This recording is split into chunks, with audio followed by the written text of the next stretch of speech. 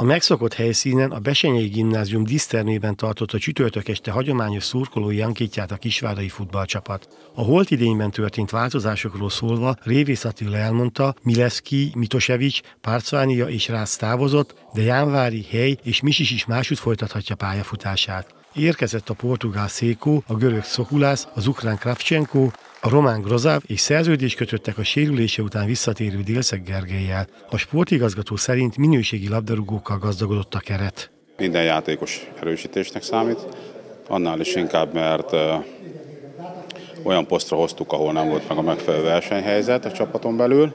Ráadásul az edzőmérkőzéseken is tudtak olyat produkálni, ami feljogosítja őket arra, hogy a kezdőben kapjanak szerepet már most a következő haladás elleni szombati mérkőzésen is. Az őszi szereplésünk feljogosított minket arra, hogy e, ilyen erősítéseket hajtsunk végre, és teljes mértékben megvan az alapunk arra, hogy a következő évet az NB1-ben folytathassuk.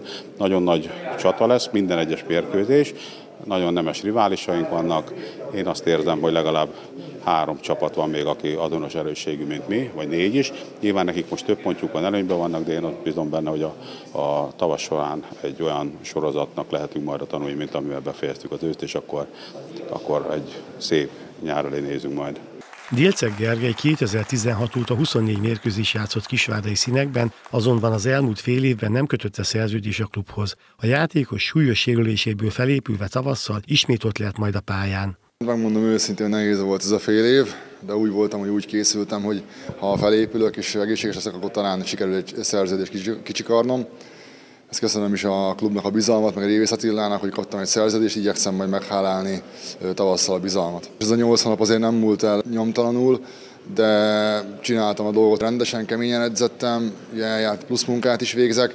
Én azt gondolom azért még egy két-három hét kell, hogy azért teljesen utolérjem magamat.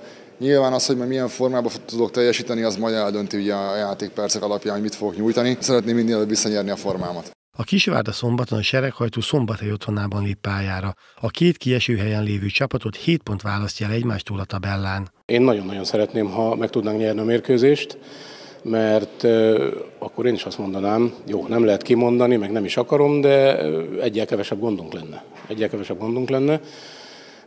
A döntetlen eredmény sem rossz, de azt szokták mondani, hogy aki döntetlenre vagy X-re készül, az elveszíti a mérkőzést, úgyhogy mi mindenféleképpen szeretnénk nyerni, de lesz ott egy ellenfél, felkészülünk, még itt az utolsó napokban, ami még egy kis finomítás van hátra, azt megcsináljuk, és én azt mondom, hogy én bízom a csapatban, bízom a kollégákban, ahogy felkészültünk, és nagyon bízom benne, hogy eredményesen tudunk indulni.